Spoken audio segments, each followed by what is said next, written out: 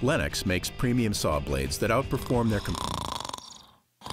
Yeah, clearly making saw blades sexy would be a challenge.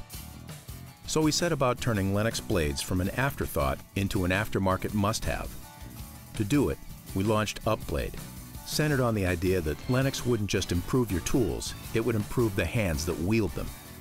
And we didn't just say it, we showed it. We cut cars.